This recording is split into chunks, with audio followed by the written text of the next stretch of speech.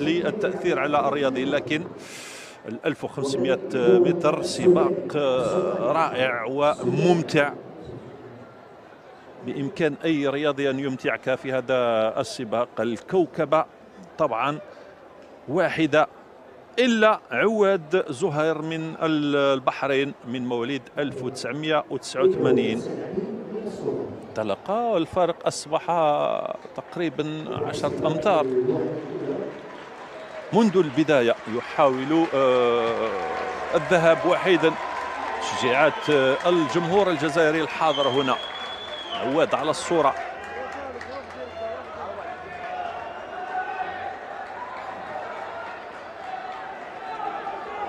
الآن آه، تواجد الجزائريين في الكوكبة. المراتب الأولى لكن عواد يبقى.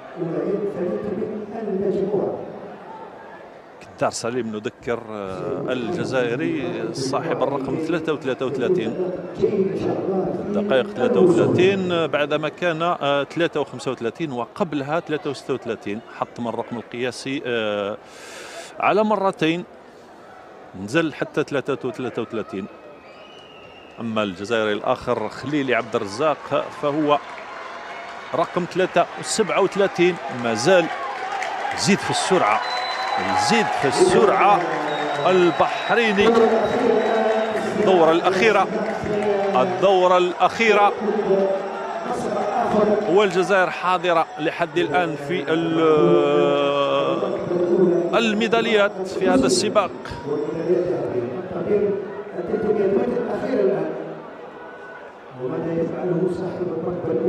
عواد زهير منذ البداية وهو يقود السباق.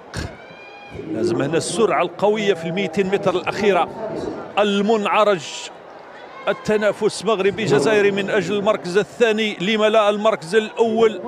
لما لا المركز الأول؟ السرعة عواد يتخلف نوعا ما لكن المئة متر ستكون حاسمة في هذه اللحظات الأخيرة.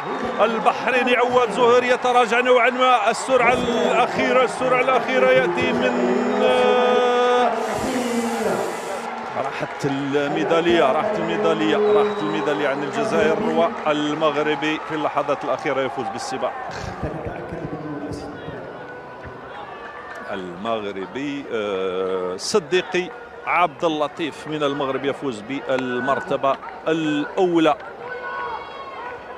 3 37 56 وقت آه، نوعا ما متوسط كان بإمكان